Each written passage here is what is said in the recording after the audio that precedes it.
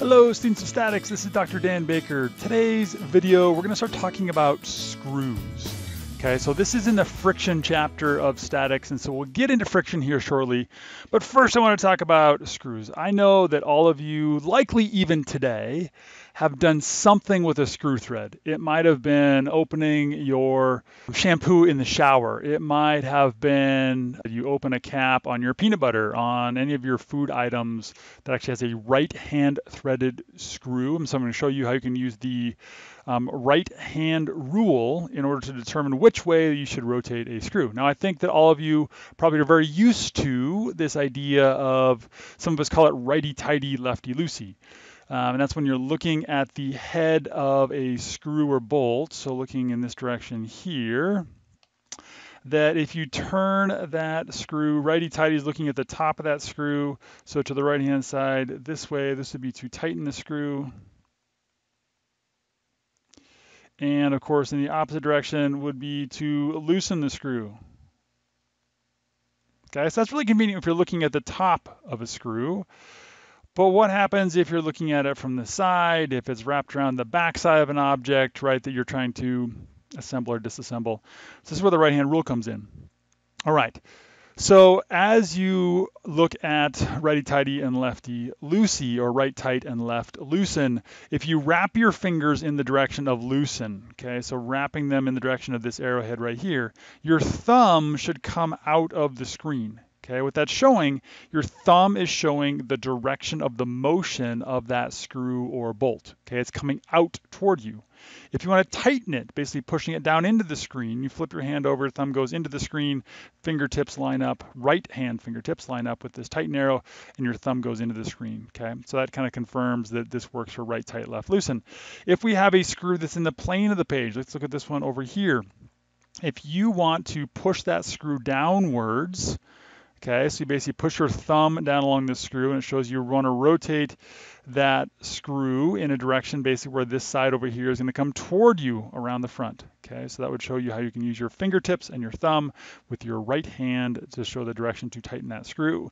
And conversely, if you want to remove this screw, then you want it to move upwards. Okay, so upwards, you flip your thumb around going upwards, and you basically would rotate that screw around in the direction of your fingertips and that would be to loosen that screw. Now you may be wondering, I mentioned this works for all right hand threaded screws. Both of these are right hand threaded. And I would say that greater than, I don't know, 97, 98% of screws in the world are right hand threaded. We really only use left hand threaded screws when we have to. Okay, so right hand is definitely um, the standard. So if you look at the threads holding up a screw, and it doesn't matter if you're holding it with the, the head down or the head up, but if you're looking at those threads and look on the right hand side, if these threads are higher on this side, that means that this is a right hand thread. Okay, so basically higher on right we have right hand threaded. If it is higher on the left, then it is left hand threaded. Okay, so um, so these are, I don't want to highlight the left side here because these are not left hand threaded, but you could basically flip any of these images and you'd see that that would change it physically from a right hand thread to a left hand thread. So you can't just, you know, you can't flip a screw over. And I challenge you to do this. Find a screw. And like I said, it even could be the threads on your shampoo bottle or your peanut butter container, or for that matter, your toothpaste tube. Um, and if you take a look at that and look at it from the side, you'll see that the threads are higher on the right hand side. Therefore, it is right hand threaded. All right. Moving on now to develop some equations that relate the friction of a screw to the moment which that screw needs to basically start moving. Okay, so one thing to highlight before we even get started is as we're talking about friction, um, for screws, we're talking about impending motion friction.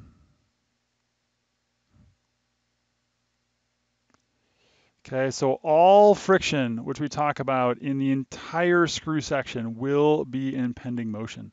We're not actually going to get into kinetic, and we're also not going to have static but not impending. Okay, so um, that's a good thing. You guys are probably more used to impending motion coming out of physics anyway.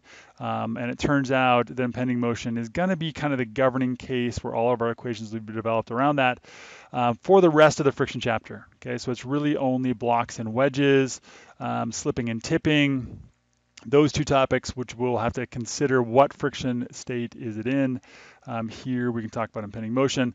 But one of the joys about screws is we have some kind of new friction states that relates to um, the balance of the screw friction to the load on the screw. And we'll get into those as we move forward. All right, so if we think about what is a screw, there's multiple different kinds of screws. Now here in statics, we are going to focus on square threaded screws.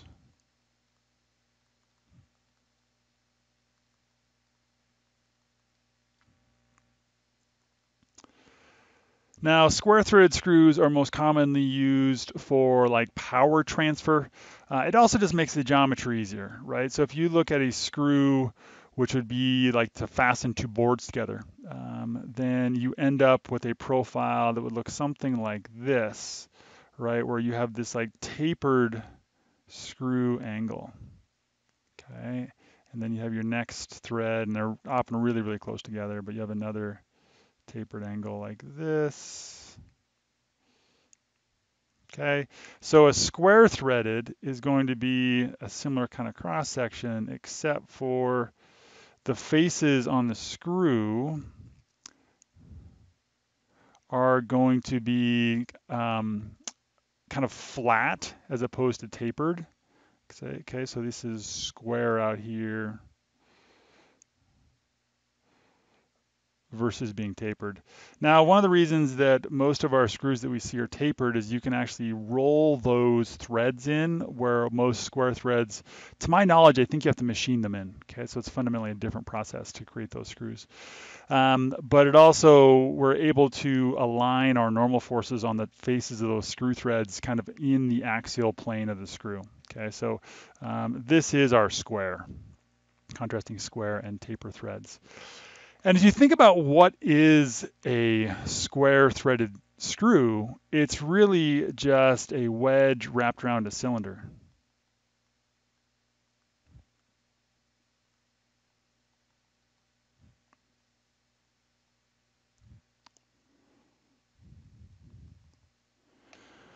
Okay, so basically you can see in the picture right here, here is this wedge and it's just wrapped around this gray cylinder. And if we unwrapped it, we can see that it has an overall length, which is the circumference of that cylinder, 2 pi r.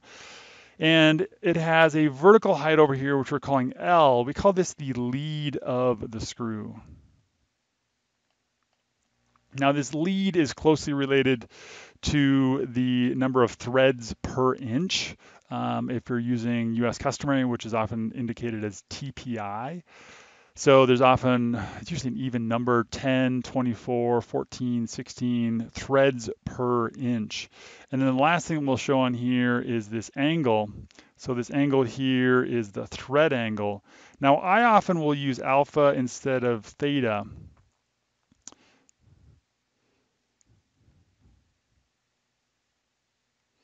Okay, and the thread angle fundamentally is just like a wedge angle of a wedge. Okay, it's just the difference from horizontal to the face um, of that thread.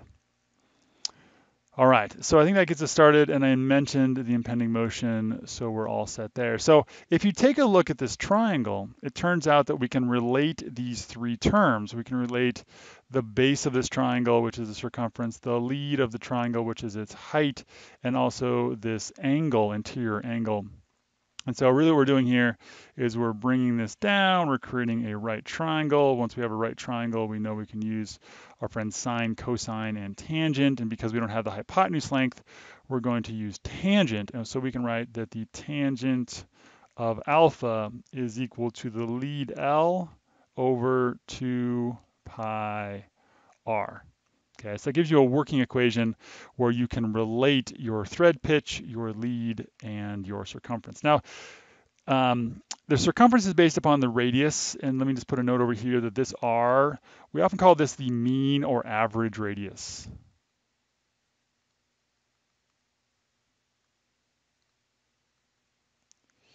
And so technically, instead of that being like the radius of the cylinder or the radius of the outside of the threads, it's really kind of like the radius halfway between the cylinder to the outside threads. Okay, so to the middle of the thread. Okay, so now let's go ahead and derive some equations that enable us to relate loads on screws to the moment it takes for that screw to reach impending motion.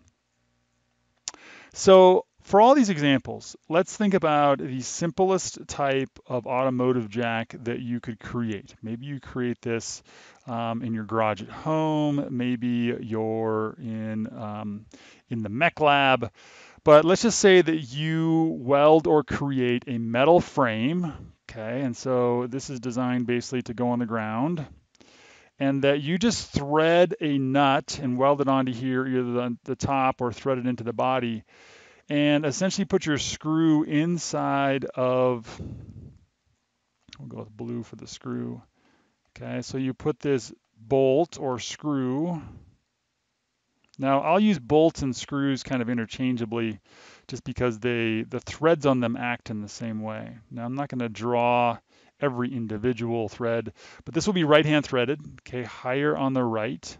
So my threads slant up in that direction.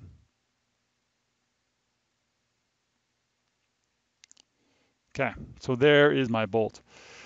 And so what we're going to think about in this context is that you've created this frame and this bolt as a car jack. Okay, there's no mechanical advantage of this car jack besides the screw itself. So we're first going to talk about the context to raise the direction, to raise a car. Okay, so I'm going to use these dotted brown arrows for my motion. Okay, the motion of the screw, and this one is to raise the car up. And then if you think about if this is going to raise a car up, that car is going to be pushing downward on the screw. And so this is going to be our load. Okay, so we're going to have a motion of a screw and also a load on that screw. Now from the right-hand rule, you should be able to look at this system and say, hmm, well, if I want to raise it, I want to put my thumb in the direction of this brown arrow, your right hand thumb. And therefore, my moment to rotate this screw will wrap around this direction here. Okay, so that'd be my applied moment. So let's zoom in on this screw, and I'm going to draw just a couple of threads and the same, um, the motion and the load. Okay, so here again is my screw. I'm going to blow this thing up. Here is my tapered thread, or excuse me, my square thread.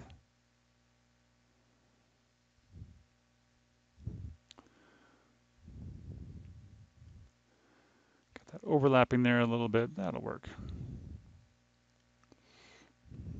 Okay, so this is my bolt head. And let's try one more thread down here.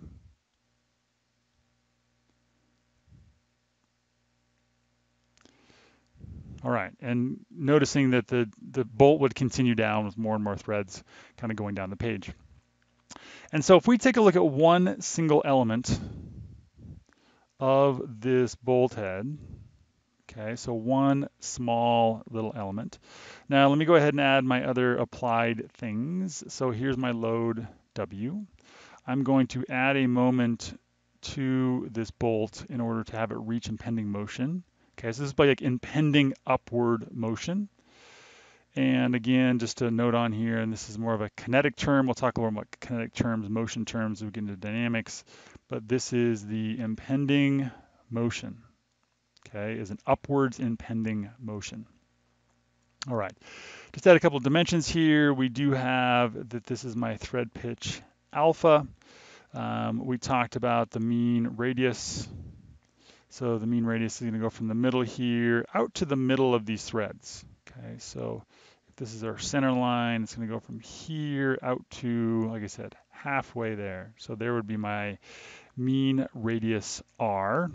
And then my thread pitch, excuse me, not my thread pitch, but my lead, my distance between threads. You can pick either the top of the thread, the bottom of the thread, the middle of the thread.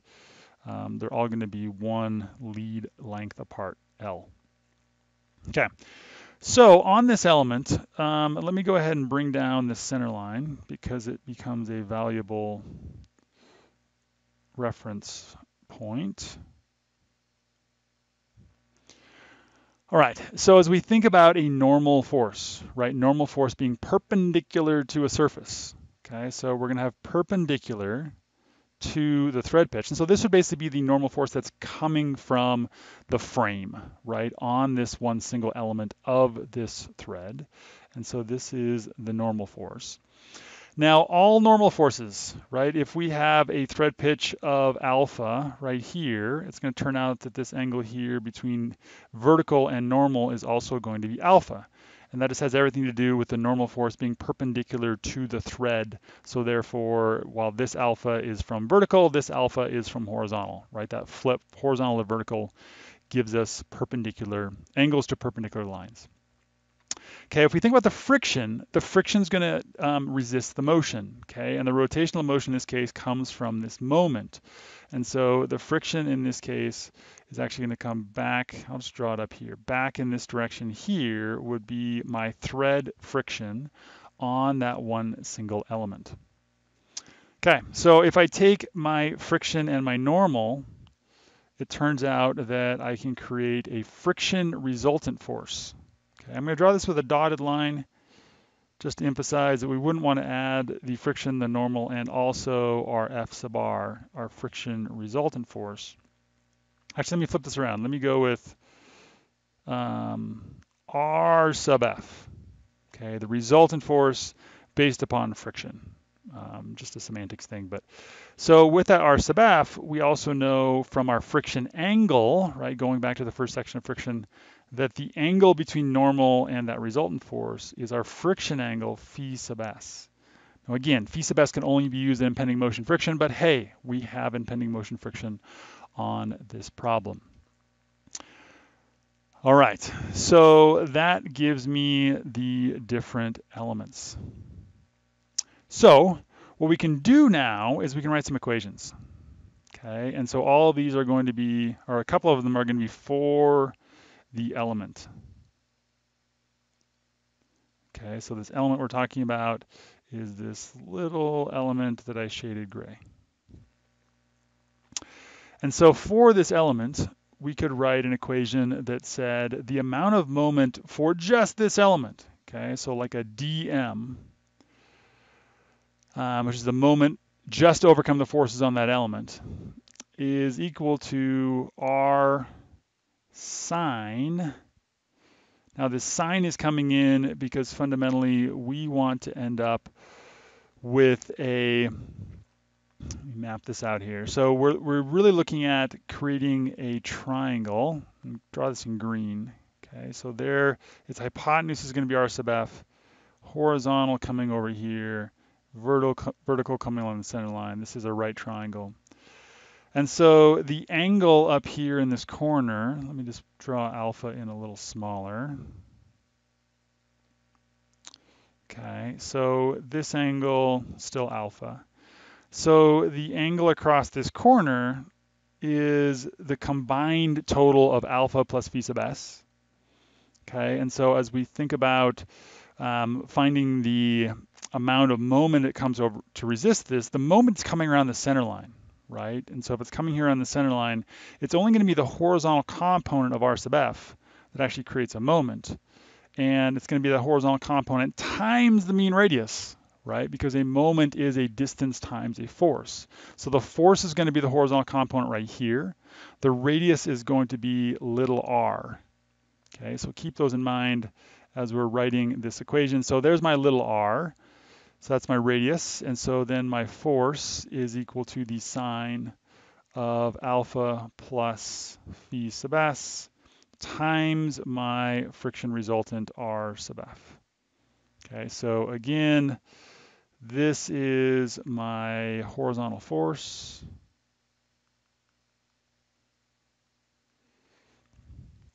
And this is literally, it's labeled R, but this is my R distance from the center line. And I know that R times force is equal to moment. Okay, and of course we're just talking about a dm because this is only the amount of force which is on our little element. So if we add together all of our uh, moments around every single element, okay, so this is um, for full one wrap of a thread, noting that in this in this analysis, we're really just assuming that one thread is engaged at a time. Okay, now if and that would depend on the precision of your screw, but in this analysis, we're just gonna go with one single thread. Okay, and so if we're gonna have a sum of our moments, right, a total moment that's gonna take to raise this car up, that is going to be equal to the same radius r, so this part doesn't change, our sine of phi sub s um, actually, let me put it in the same order I did before. So sine of alpha plus phi sub s. And this is going to be the sum of all our r sub f's. Okay, so on for every single element, all around one full wrap of a thread. Now the other thing we can do, because we still have too many unknowns to solve for here, is that we can go ahead and sum forces in the y direction. And let me note here, this is technically sum of moment is equal to zero, because this is actually an equilibrium equation, because we're talking about reaching impending motion, okay? And so another equilibrium equation in the y direction, we have our weight force coming down, minus W, and then we're gonna add to that the sum of all of my R sub f's. Now this is gonna be the vertical component, okay? So if the horizontal was sine of alpha plus phi sub s, this is going to be the cosine of alpha plus phi sub s. And again, that's going to equal zero because it is an equilibrium equation.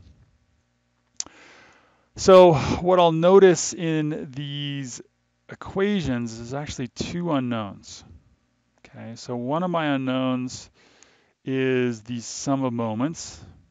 And technically, as I've written it here, like this um, this is my sum of moments, the total moment to get that screw to move.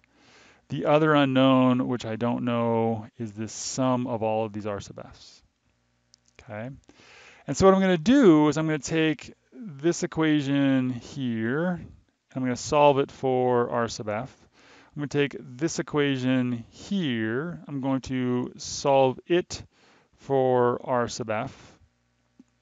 And then I'm going to set the R sub f's equal to each other and solve for my moment. Okay, so I'm not going to go through all those steps here explicitly step by step, but that's where the derivation is going. Again, solving both equations for r sub f and setting them equal to each other. We end up with, and noting here, I'm just going to simplify the notation on this, I'm just going to call this my moment. And um, so instead of sum of moments, it's just the moment I need to apply to the screw or bolt head. Okay, so this moment M is equal to WR, the tangent of the sum of this angle, alpha plus phi sub s. So this is my working equation, which gives me the amount of moment to overcome fundamentally the load plus the friction in order to raise the car with my super simple jack. Okay, so the way that we typically discuss um, the relationship here between my load and my impending motion is I'm going to call this against. Okay, so we could say here that the motion, let's put it in abbreviation form, I am, your impending motion, is against your load. Now, some books like to talk about it with raising and lowering, but that's going to be assuming that you always have a vertical downward force. Screws aren't always interacting with the vertical downward force, so I like this idea of against and with. Your impending motion is against your load. And so that's going to be the criteria that this equation was written for. So this is your impending motion against W load W. And again, just a note that all these moments we'll talk about are at impending motion. So this is the moment to reach upward impending motion. Any additional moment and you'd have a kinetic system. Okay. So it turns out that that's the easiest case for screws.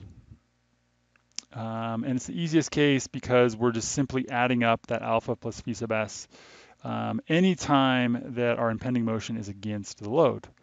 But what about, and say you're, you're using this jack to change the tire on your car, what happens when you're done changing the tire on your car and you want to lower it down? Right? If you've used jacks before, you realize you have to put some kind of a moment applied to that jack. And so we're going to talk about essentially as we have our motion going with the load, we need to worry about the relationship between alpha and phi sub s. Okay, so that's going to be our next, next section right here. Again, this whole top section is impending motion is against the load. So now moving down below here, we can say that this is for um, impending motion with the load. Okay, and the kind of wording that you see with these kind of problems is going to be to lower, okay, so to lower something, to um, remove a force, right? So that would be more kind of in the context of clamping, right? So if you've tightened a clamp, you're going to be going against the load. If you're removing a clamp, so let me actually just put that in terms of a, removing a clamp. Anytime that you're basically backing a screw away that has a load on that screw, um, you're often going to be going impending motion is with the load. Okay. So the three cases we have for impending motion with the load. Okay, I mentioned that when you have your impending motion against, it's the simplest. You have one equation. If you have your impending motion with the load, you have three cases.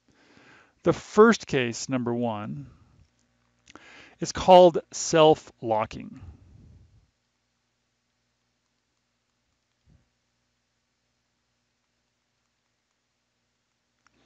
So in a self-locking state, turns out we have more friction as represented by phi sub s than we have thread pitch alpha okay? More friction than thread pitch. And you can really think about this thread pitch as being analogous to your quote load. Okay, it's not the load W, but at least in these equations, that angle alpha, basically a steeper thread gives you more loading on that section of screw thread than a, than a flatter thread, right? So that kind of tells you that um, the, the load W and the thread pitch interact. But in this context, we can basically think about this one as friction, phi sub s. So we have more friction than load. And so if you have more friction than load, the screw is simply going to sit there unless you add a moment. Okay, so this is actually a really good place to design screws is with self-locking. And so the moment to remove a screw, to get it moving downward, to get it moving basically in the direction of the load. We put M prime, because it's a different moment than your one above. This is going to be the same form, WR, tangent, now this is going to be the difference of phi sub s minus alpha. Okay, so the only difference we have here is that if you're going impending motion against a load, basically to raise a load up, we're going to add together the angles, and here we're going to take the difference between those two angles. Now, as we think about the direction of the motion, okay, and so let me zoom out here a touch. I think I can put the diagrams right next to us. So if we think about just drawing a simple, um, go with one screw thread here. All right, so this moment for self-locking, right? So we basically want this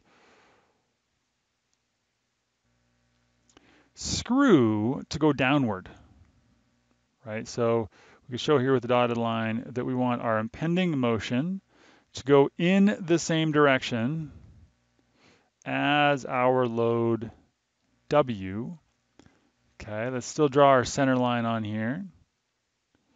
Our normal force will still be perpendicular. It is always perpendicular. Okay, so there is my normal force. My friction force is going to resist the motion of the moment, and that moment is wrapping around in this direction. Okay, so this is my m prime, opposite my m from my previous equation. And the friction I would develop here is basically along this surface. And so this would be my friction. Therefore, projecting this out with the parallelogram rule, we find that the sum of these two, let me keep with this idea of kind of a long dotted line for my R sub F. Okay, so my resultant friction force. And again, I could label these angles. This angle here is going to be always my alpha. And then the angle between my friction and normal, extend this guy out, is going to be um, always phi sub s. And so fundamentally, phi sub s minus alpha gives us this little wedge right here. Okay, so let me call that star. Okay, so this angle here is angle star. Figuring out how far r sub f is basically past vertical. Um, and that gives us again the horizontal component of that friction resultant force, which then leads into the amount of moment we need to overcome self-locking friction and lower the car. Okay, so let me just write that here. This is the moment to overcome self-locking to lower the car. All right, moving on. If we don't have enough friction to keep the car from moving after you've raised it up into place, we have a condition called unwind with load.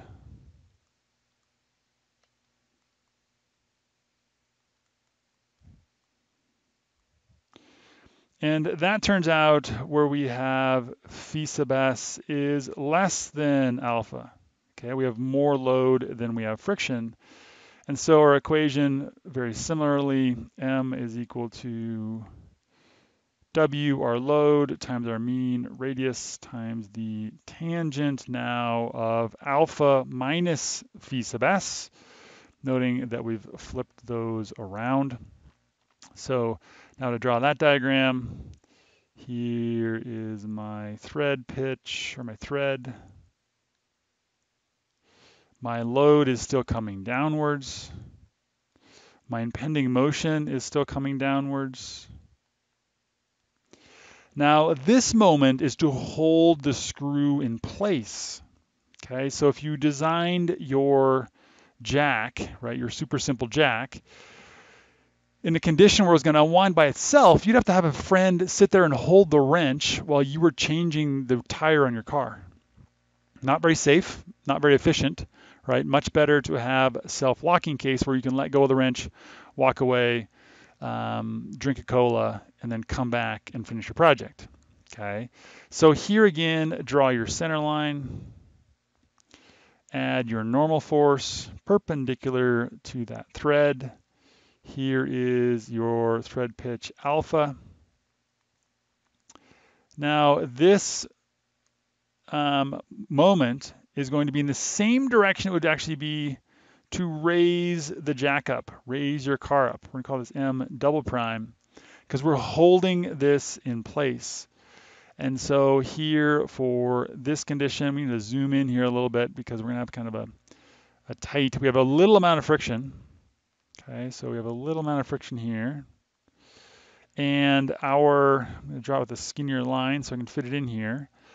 Our resultant force, R sub F, using our parallelogram law, ends up between vertical and our um, normal force.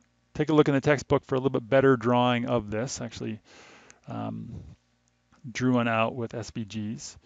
Okay, so if we think about these angles again, we have that um, phi sub s is always between,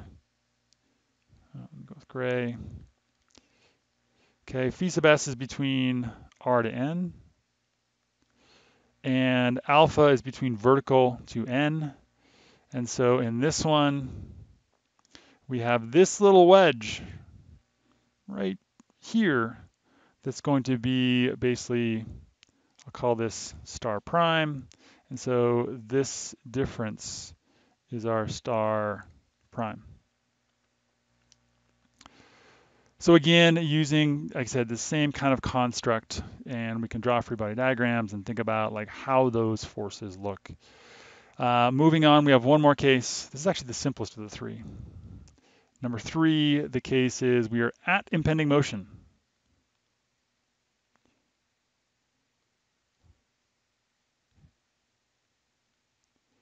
So if we are at impending motion, it turns out that our only equation tells us that phi sub s is equal to alpha.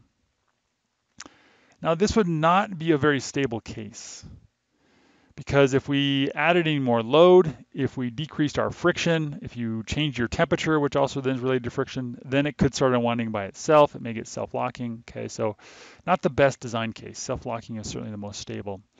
And so fundamentally here we have m triple prime is equal to zero. We don't need to add a moment if it's already sitting at impending motion. What that looks like with our drawing here is that we have uh, our loading W, our impending motion still is downward impending motion.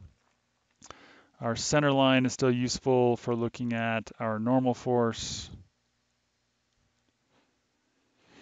as well as our phi sub s, or sorry, this is our alpha. And then our r sub f turns out to be vertically along the center line. Okay, so there's our friction, there's our R sub F. There's the extension lines for our parallelogram law. And still we know that our angle between normal over to R sub F is phi sub S. Okay, so this helps justify that alpha is equal to phi sub S because it's still measuring between the same two lines. They just have to be overlapping each other. Okay, so all of these, like I said, are in a state where we have our impending motion going with our load. We need to compute the difference between the phi sub s and alpha. That will help to determine if it's self-locking, it's unwind by self, or at impending motion. And then you can use various equations to solve for your moments to push the system to impending motion. And again, all of these impending motion cases here, here, and here are going to be impending motion downward. Okay, so that gives you kind of a full map of all the different equations that we can use on screws. And I'll come back with an example that shows you how to use these and go through also the analysis of right hand versus left hand threading. Thanks for watching today.